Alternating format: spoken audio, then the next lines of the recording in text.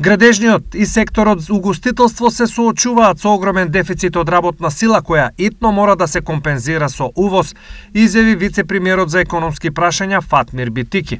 Најзагрозени да ги кажеме се градежништво, секторот градежништво, без разлика дали е тоа ниско градба или висока градба и секторот хотелиерство и, и туризам кој што е очигледно затоа што тоа се сезонски работници кои што одат во други земји, во блиското соседство, Хрватска, Словенија, па зошто не и во земјите членки на, на Европска Унија и се отвора еден сериозен сериозна потреба за луѓе кои што би служеле во тој во тој сектор.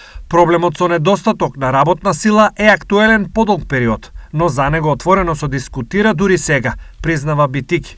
Минатата година сме имале 5300 работници во нашата земја кои што работеле. Но сега отворено ја отвараме дискусијата дека треба тоа организирано да се зборува и да се знае дека во кои сектори недостига. Според пресметките на Македонија годишно и недостасуваат по околу 10.000 работници во сите сектори, но најмногу во потенцираните градежништвото, угостителството и хотелиерството.